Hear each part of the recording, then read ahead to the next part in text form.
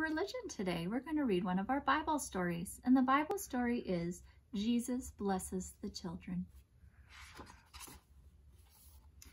During the time when Jesus preached throughout the Holy Land, people came from far and wide to hear his words firsthand.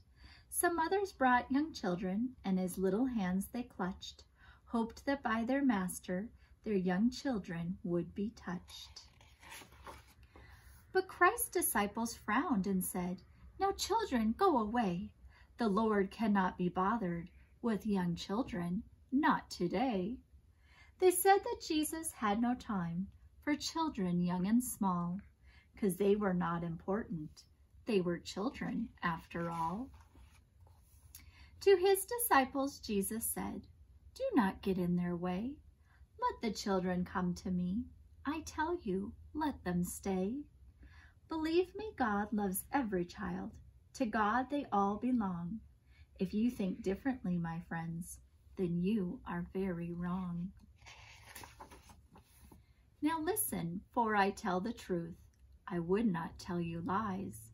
God's kingdom includes everyone of every age and size. And to the grown-ups in the crowd, he said, Don't doubt and grumble. God's kingdom will be yours if you have childlike faith so humble. When Jesus spoke those caring words, the children stayed, then went to Jesus full of trust. They weren't a bit afraid. When Jesus took them in his arms, he patted them and smiled. Then lovingly he blessed them as he prayed for each young child. What would you say to Jesus if he came to visit you? Would you smile and welcome him and say, how do you do? Now, if you really knew he was the Lord to whom you pray, I'm sure you'd thank him for the things he gives you every day. Like sun and rain to make plants grow, and loving folks who care. For food and clothes and cuddly pets, and friends who say, let's share.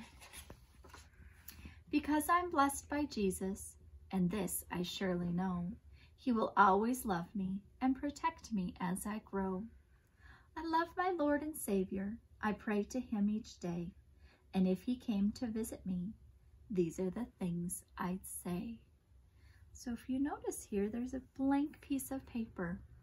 And so part of your assignment for this week is to write a letter to Jesus and just tell him all the things that you would like to say to him if he came and visited you.